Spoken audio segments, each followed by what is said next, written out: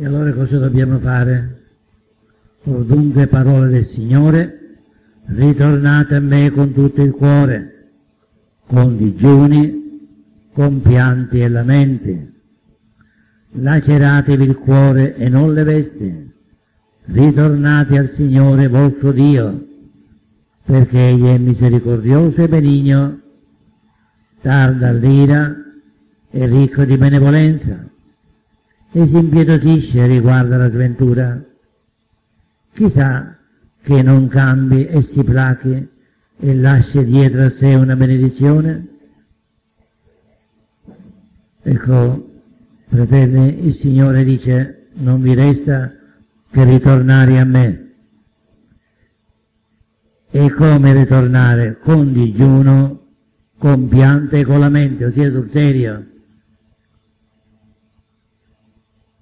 Laceratevi il cuore e non le vesti.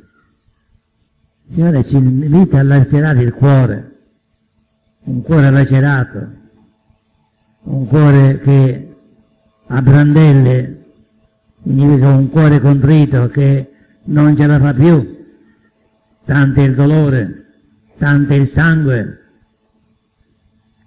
Ritornate al Signore vostro Dio, perché se avete il cuore lacerato, Egli è misericordioso e benigno, egli si impietosisce e cambia il decreto contro di noi e lascia dietro di sé una benedizione.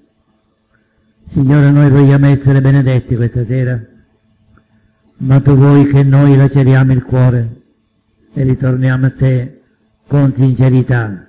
Soltanto un ritorno sincero potrà placare la tua ira che grava su di noi e darci la tua benedizione. Grazie Signore Gesù.